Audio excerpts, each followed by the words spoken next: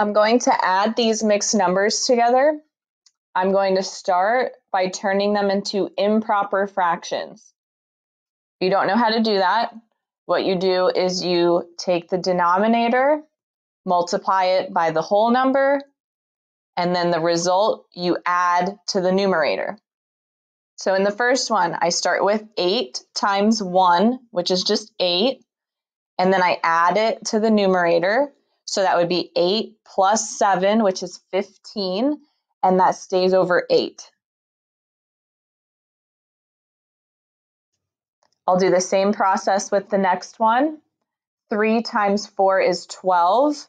Add that to the numerator. 12 plus 2 is 14.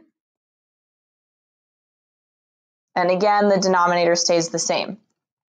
Now, if you're going to add fractions, you need to have a common denominator.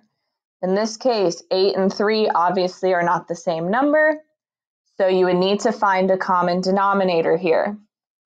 8 and 3 both go into 24, so I'm going to use 24 as my common denominator.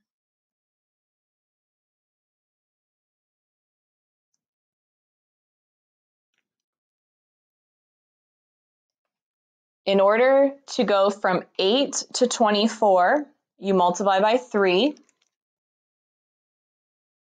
And when you are doing this, whatever you do to the denominator, you must also do to the numerator, which means the 15 is also going to be multiplied by 3. That gives me 45. In the next one, I'm going to multiply 3 times 8, and whatever I do to the denominator, I must also do to the numerator.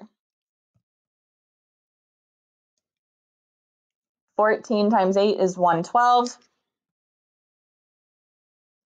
Now that you have a common denominator, you are allowed to add your numerators.